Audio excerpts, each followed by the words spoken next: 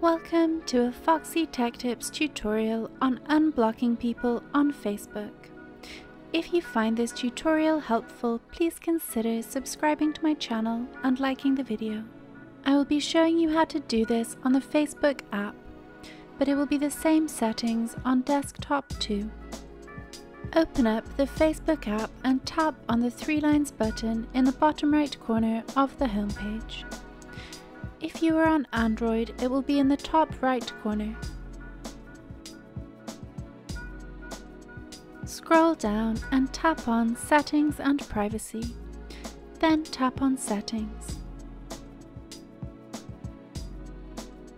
Scroll down the settings to the Privacy heading and tap on Blocking.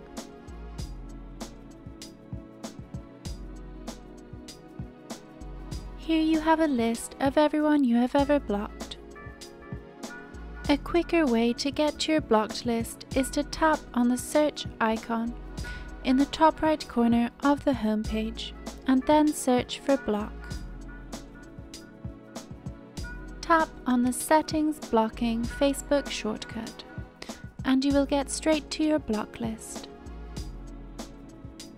To unblock people, tap on Unblock to the right of their name.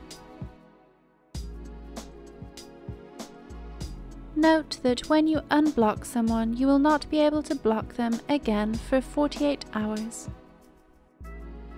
Tap Unblock again on the pop-up. And that draws an end to this tutorial. Please like the video if you found it helpful and subscribe to Foxy Tech Tips for more Facebook tips and tricks.